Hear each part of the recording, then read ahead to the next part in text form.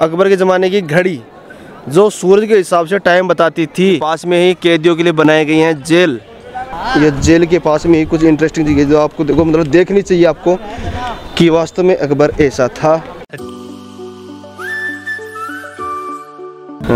Hello guys कैसे आप सब लोग उम्मीद करता हूँ बढ़िया होंगे। फ़िलहाल हूँ मैं फतेहपुर सीगरी में और आपको मैं दिखाऊँ तो भीड़ गाइज़ अभी देख पा रहे होंगे। देखो, यहाँ पर देखो कितना शानदार व्यू वाह एकदम ज़बरदस्त है। ये देखो साइज़ का ये बुलंद दरवाज़ा। देखो गाइज़ कितना बड़ा है इसके अंदर ये होल है देखो कैसे बनाया गया होगा इसको। चलो अभी बाहर चलते हैं और दिखाते हैं आपको। बुलंद दरवाजे को एक्चुअल में कैसा है ये बाहर से तो चलो चलते हैं। इसका जो हाइट है नीचे रोड है। तो गैज आप बाहर आने पर देख पा रहे होंगे ये हमाम जो नहाने धोने का होता था ना जो रानियाँ नहाती थी मतलब अकबर वो नहाते थे तो वो हमाम है ये बाहर की साइड में। और ये मतलब पूरी सिटी यहाँ पर फतेह सीकरी।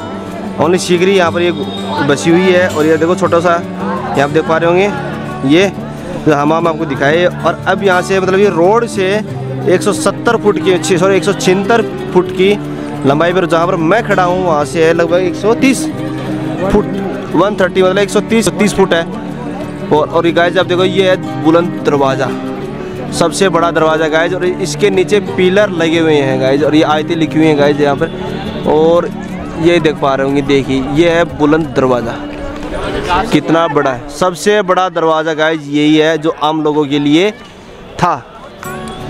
और अकबरी गेट आपको दिखाया कि जो अकबर वहाँ से आता था royal palace sorry royal gate और यह है गाइज़ बुलंद दरवाज़ा, देखो कितना बड़ा है।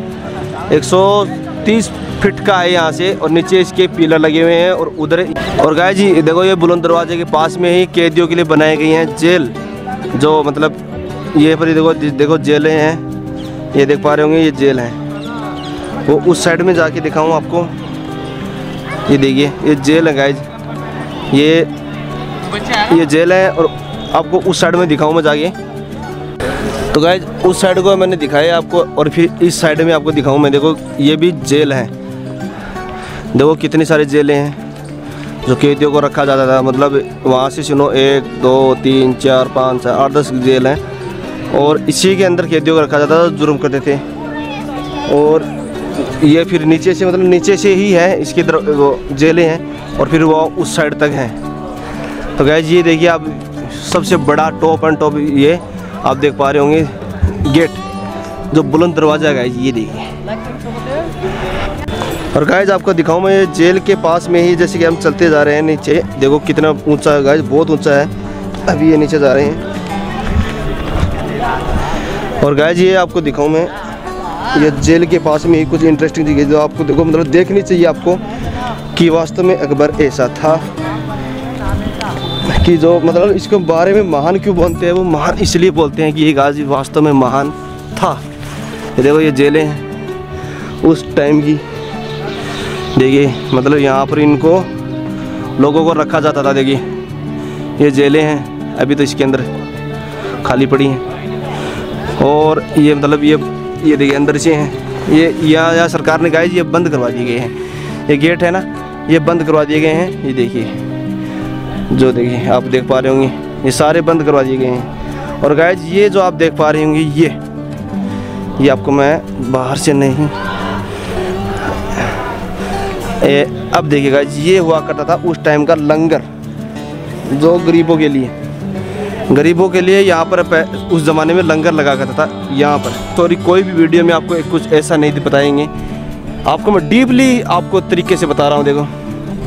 ये देख पा रहे होंगे, यहाँ पर गरीब गरीब लोग बैठा करते थे, बैठ के आराम से यहाँ से, और यहाँ से खाना उनको दिया जाता था। तो गरीब लोगों के लिए यहाँ से लंगर से लगा करते थे, और वहाँ पर उनकी जेलें थी, और ये बुलंद दरवाज़ा रहा।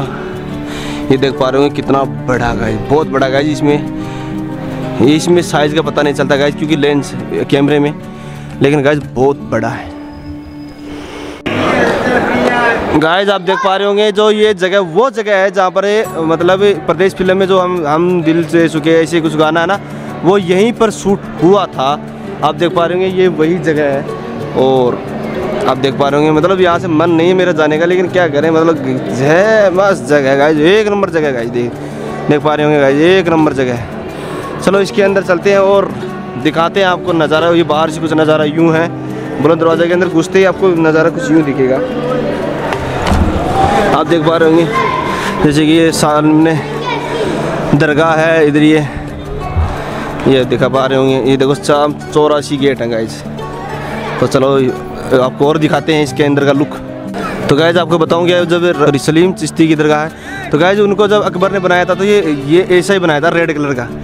तो रेड कलर का बनाया था गाइज़ लेकिन इसमें क्या है कि जब उनको पता चला कि सॉरी शे, सलीम, यानी कि जहांगीर को पता चला कि हमारा जन्म उनकी मतलब सलीम चिश्ती उनके धर्मगुरु थे ना, उनकी वजह से हुआ है। तो वो रेड कलर इनका, इसका मकबरे का रेड कलर ही था गाइज़ ये दरगाह का रेड कलर था।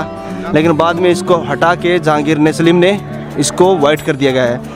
जो अभी भी मतलब इसके गर्म होना, बाहर गर्म है, लेकिन ये बिल्कुल भी ठंडा पड़ा है एकदम से। और ये रियल स्टोन है, मार्बल।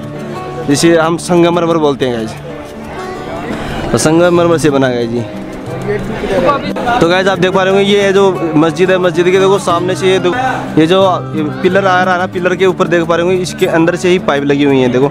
जो यहीं से पिलर और पाइप दोनों काम करता है और ये देख पा रहे हैं इससे पानी यहाँ यहाँ गिरता है गिरने की वजह से सीधा वहाँ टैंक में वहाँ पर गाइज़ वो टैंक है पानी का वहाँ पर वो जमा हो जाता है गाइज़ और आपको अंदर से मैं दिखाऊँ मैं मस्जिद का नज़ारा कुछ यूँ है। ये देखिए। आप देख पा रहे हो गैज ये देखिए। तो गैज आप अंदर आने के बाद देखोगे कि ये देखिए, ये दरगाह के अंदर ये जो 56 पत्थर है गैज और उनका सभी का डिज़ाइन सेम नहीं है गैज सेम नहीं है। ये ध्यान रखना। इनका देखो डिज़ाइन अलग है, ठीक है? इनका डिज़ाइन अलग है। अब दिखाऊँ मैं। और इसका डिज़ाइन और दिखने में सेम लगेगा गैज आपको, लेकिन सेम है नहीं। अब दिखाऊँ मैं। आपको अंदर से और दिखाऊँ मैं। जैसे कि ये है। ये देखिए, इनका भी अलग है। डिज़ाइन सभी का अलग है। और फिर ये देखिए। इनका भी डिज़ाइन अलग है, देखो मोटे मोटे से हैं। फिर ये देखो, अंदर से कुछ ऐसे हो गए हैं। मतलब हर पत्थर के अलग अलग डिज़ाइन है मतलब छप्पन पत्थर हैं और है सभी के डिज़ाइन अलग अलग हैं गाइज़ आप देख पा रहे हैं और अंदर से कुछ यूँ है मस्जिद। और यहाँ पर यहाँ पर दुआ की थी, तब उनको लड़का हुआ था अकबर को। तो हमें भी दुआ करें, नहीं करेंगे हम। आपके लिए और गाइज़ यहाँ घूमते घूमते घूमते मुझे क्या दिखाई दिया कि ऐसे मतलब कोई भी नहीं बताएगा आपको गाइज़ ये देखिए। आप देख पा रहे होंगे, ये है उस ज़माने की, अकबर के ज़माने की घड़ी, जो सूरज के हिसाब से टाइम बताती थी। जैसे कि ये देख पा रहे होंगे, सूरज यहाँ है और मैं अभी यहाँ घड़ी पे खड़े होने वाले हूँ। जैसे कि आप देखना, यहाँ पर रखना। देखो भाई। जैसे कि मैं यहाँ खड़ा हूँ ये जैसे कि ये। तभी यहाँ अभी यहाँ पर दिखाई दे रहा है कि ये देखो, यहाँ पर खड़ा हुआ।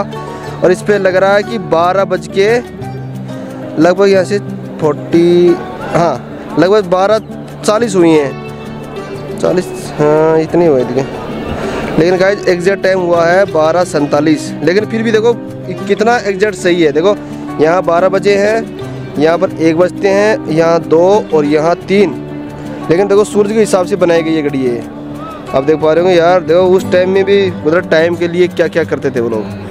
और गाय ये देख पा रहे हो अभी बुलंद दरवाजे के पास में ही हूँ और देखना है गाइज़ बहुत कुछ है यहाँ पर बहुत कुछ है। आप आना ज़रूर यहाँ पर और आपको पता चलेगा कि क्या क्या यहाँ पर देखने है।